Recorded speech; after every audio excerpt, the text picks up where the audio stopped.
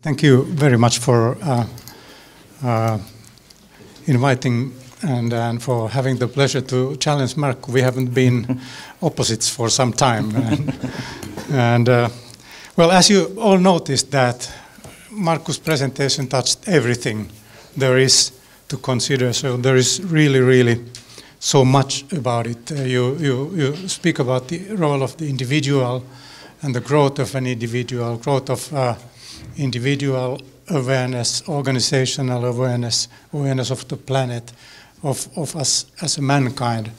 And then at the same time, uh, you are looking at the environment where we are living and actually the unconditional challenge that we have. So, what more could there be? And uh, I have kind of a complex uh, comments on it. And so, maybe the best thing I could do, I don't know how, how you think, you both, Markku, that would be nice if I will somehow challenge you, but actually I'm presenting these questions to you as well. So if you want to comment and, and challenge Markku, but I will make the introduction first. Uh, there is one serious thing missing from your approach, or actually two. One is pessimism, and, and, and you seem to be a kind of an optimist, and I will return to that. But, but there's one question that I've been thinking. I even wrote a short blog on that because I, I put uh, fed to Google uh, the words lifelong learning because you all probably have heard about it so much and, and how important it is. And I got about 3 million hits from it. Then I fed lifelong curiosity, and only 2,000 came. And so the question is that how do we create possibilities for healthy curiosity that lasts lifetime? And I was thinking about what you were saying about Markku about mm. intentions, because that's another. I come from psychology, and if you take a, a, a cognitive psychology book and uh, search for a keyword intention, it actually doesn't exist there. It's really, really difficult to find. And I've been telling that it's one of the most underestimated qualities of human life that we have intentions. And but it is very difficult to share our intentions. You don't know my, what my intentions are, and there are not very easy ways for me to tell them to you. And uh, even what Markku's intentions are by, by giving this talk, because I, I, I, feel that you are trying to wake up us mm. and, and, and help to uh, be awake uh, fr uh, in front of these, these challenges. So this brings me to the question that what is this character of the human of the future, then what, what are the aspects of humans that we should try to consider? And I, I think that you are putting it uh, in front of us because if you want those things to happen, if, we are, if you expect us to learn and be curious in the right way that guides us to the most important questions and solutions that we have in order to find what you call this spirituality or, or the mm. natural naturalness and, mm. and natural relationship with nature, then where do we find this curiosity? And what is it? What is it that takes us there? I don't think anyone knows. So, so that's, that's, that's one question. Mm. Maybe, maybe mm. you can comment on that, and I will leave that. And I was thinking that where are the enemies? because if you listen to the modern day leaders, I don't have to speak about names, but, but some presidents and, and uh, some uh, leading politicians in, in the earlier uh, Hungary and, and Poland. Uh, I don't know what's going happening in, in Spain right now. They are not talking like that. But during my whole life, I have never seen so bad behavior from our leaders who do it openly in a world of communication. And just the things that you were mm. presenting, kind of the optimistic possibilities for the, the mm. involvement and engagement of mm. everyone on the earth. And then at the same time, we are facing that. So I was actually waiting for you to show that where are the enemies? uh, you don't seem to have them, but of course they are implied there. and and uh, considering I know a little bit, or I can guess a little bit of your background, and I have a feeling that you don't have a way of searching for enemies because you are so so solution oriented and and you want to find ways, healthy ways to grow, develop, and understand the world. But I still like to remind of that, that what are these enemies that we should know? And, uh, and even, well, we are talking uh, with Timo about your judo uh, exercises, and everyone of you probably already know the judo principle is that don't resist with force, but be soft, smooth, and, and, and keep that kind of rhythms. It doesn't mean that you, you can have an enemy, but it's good to know mm. how they behave. And then, of course, there's the possibility that we don't have enemies, but uh, I don't believe in that. Now, coming up from this, I, I just present some, some very general, general uh, questions to you. And, uh, and I also like to hear about your comments. So, what is growth? Uh, facing these kind of uh, challenges, then how do we, how should we describe growth? And you were talking about GDP and, mm. and, and whatever measures there are mm. to, to uh, look at the growth. And, and there are many critics who say that the current ways of, of demanding growth and, and uh, expecting growth, they will somehow have very, very negative consequences to nature, to our relationship. But I was thinking, is it possible to define a conditional growth? And what could that be? And how, how we could that uh, how would that be defined? And so maybe if Markku, would you like to comment on these, these yeah. individual level intention thematics, curiosity thematics? And also, why are you so optimistic? I start, I start with the last one. Um, quite a few of you know probably the writer and author named Naomi Klein, right?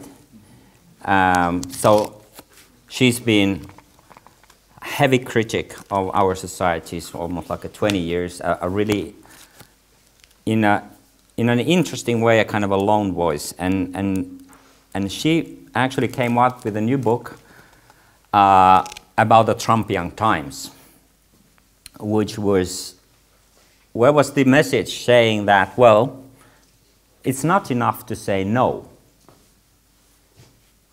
but you need to create an alternative.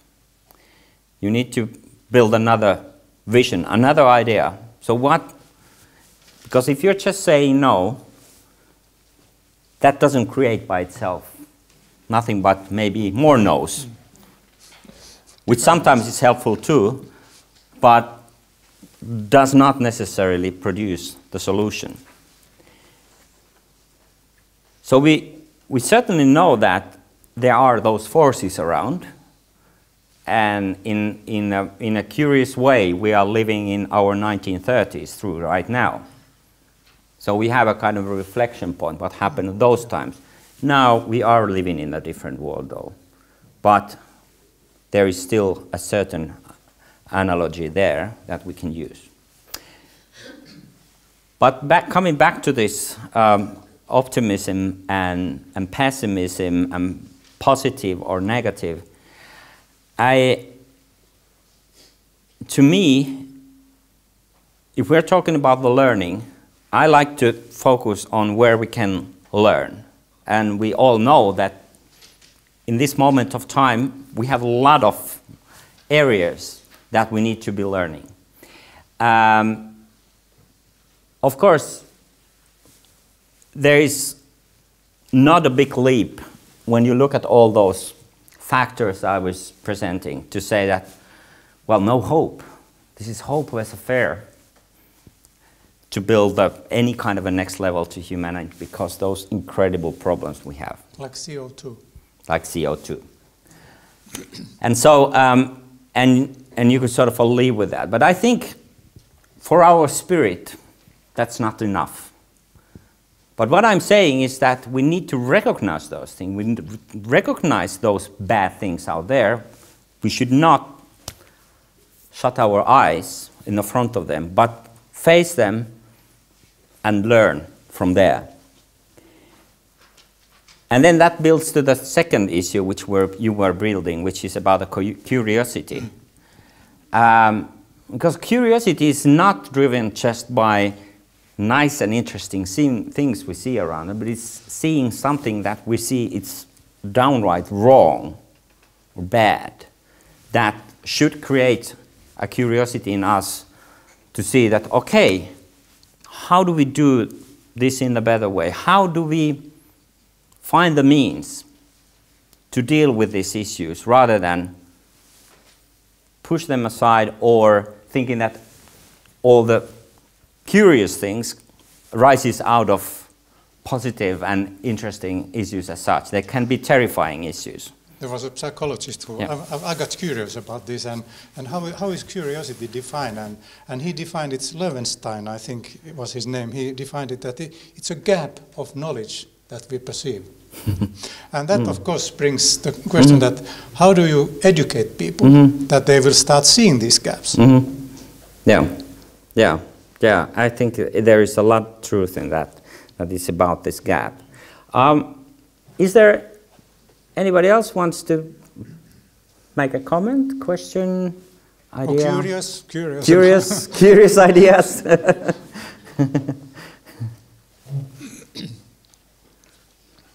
Not at this point. It's a, it's a very complex thematic that Yeah. you deal with. It's such a, such a wide, wide scope Mm. of areas. Uh, Oh yeah, go ahead. Yeah, I, I don't know. Should we use the microphone there or? Yes. Well, Perhaps I should take it there.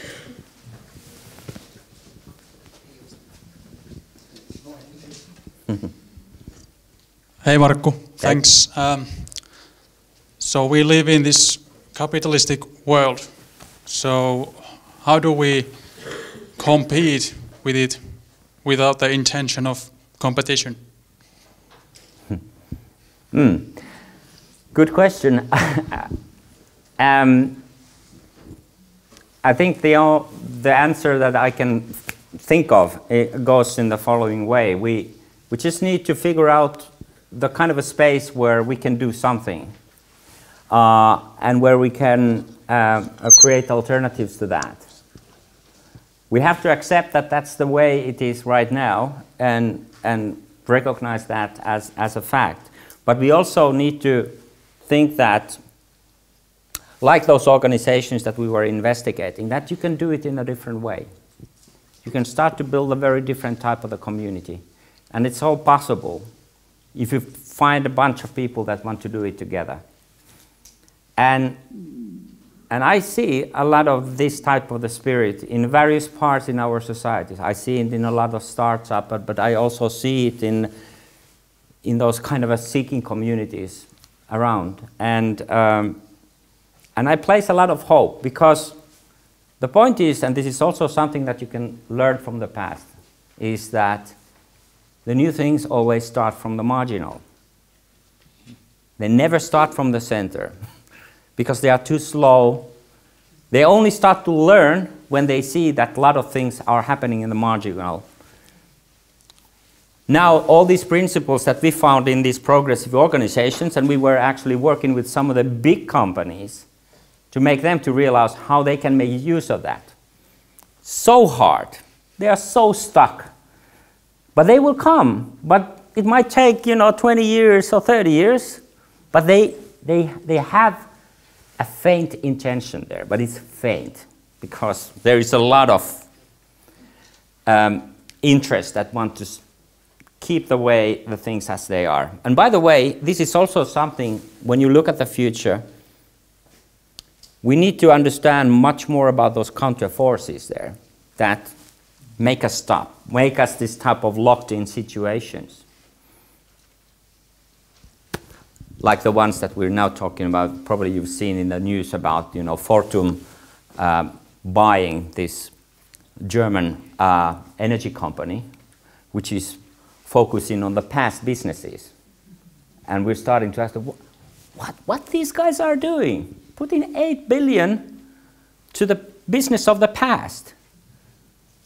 While Fortum has clearly declared that we are going towards the future, towards renewables, while at the same time, they're just uh, nodding gently to the past and saying that, well, this is actually the way that we, we're going to, to do.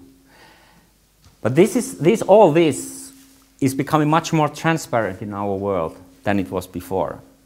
So in that sense, this kind of a criticalness that you were asking for is actually start to be inbuilt in our systems because we have these communication channels where these critical views can be also uh, encouraged.